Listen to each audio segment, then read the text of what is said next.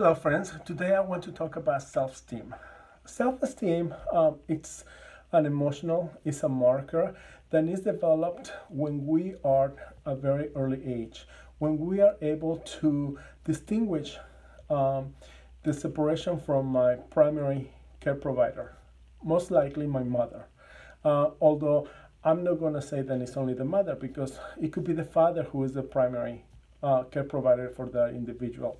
So when the when the child discovered that that is my mom and this is me, the individual start um, discovering that uh, they operate uh, independently from the primary uh, care provider, and then the auto, then the self-esteem uh, begins to develop. Uh, the self-esteem it's a marker that uh, allow us to see how where is my relationship with the world. Um, how is my relationship with my peers? How is my relationship with my friends? How is my relationships with my coworkers? How is my relationship in society? It tells me my self-worth. Uh, it tells me if I'm worth something or if I'm worthless. Uh, so depending on how my self-esteem is developed, I may have a healthy enough self-esteem where I will have the ability to think and to be and to behave in a way that says, I can do that. I can't accomplish that goal. I can conquer the new task. I'll be able to develop that new skill. I'll be able to master um, the new task. I'll be able to achieve happiness. I am worth loving. I am worth um, living uh, in a happy relationship. I am worth uh, being able to accomplish uh, a career, to finish school. I am um, worthy of being loved by my parents, by my siblings, by my friends, uh, by my loved one, uh, by my children. Um, so when I have a healthy enough self esteem, my mood is going to be uh, positive.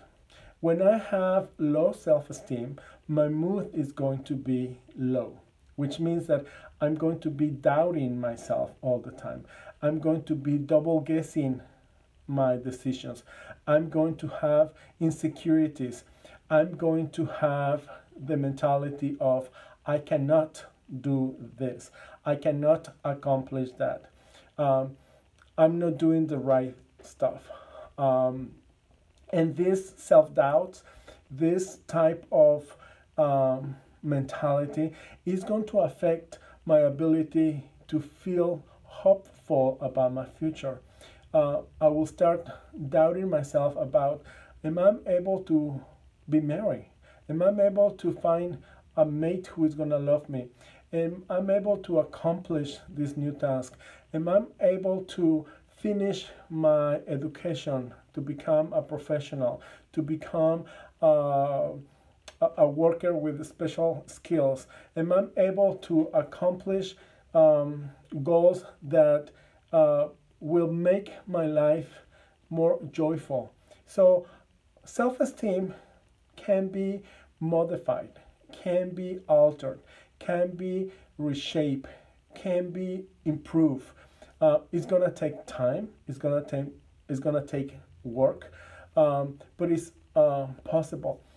Self-esteem is a big marker for someone who might be experiencing depression, who might be experiencing dependent uh, personality issues, that might be that might be experiencing um, chronic problems in relationships um, relationships with my spouse, relationship with my parents, relationship with my siblings, relationship with my children. So self-esteem is a vital element of my psychology uh, or psychological makeup of who I am.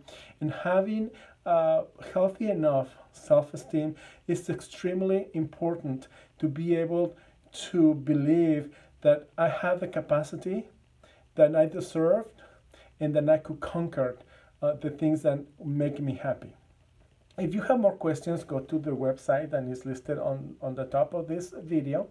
And then uh, and you could ask me more questions about uh, self-esteem or questions that you might have about if you have a good enough uh, self-esteem or if your self-esteem could be improved.